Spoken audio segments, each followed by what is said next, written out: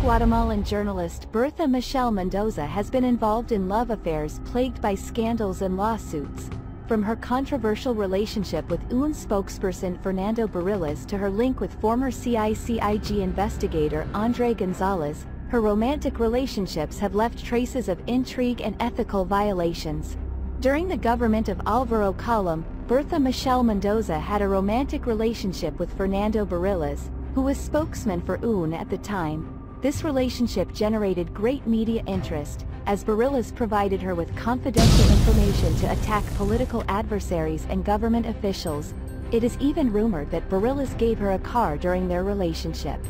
Bertha Michelle also had a romantic relationship with Andrei Gonzalez, a lawyer who worked for CICIG during Juan Francisco Sandoval's mandate. This relationship generated controversy, since Mendoza, as a CNN correspondent, took advantage of her sentimental link with Gonzalez and violated journalistic ethics by becoming romantically involved with a source of information. Gonzalez, in turn, provided her with information on cases in process of reservation, which is illegal,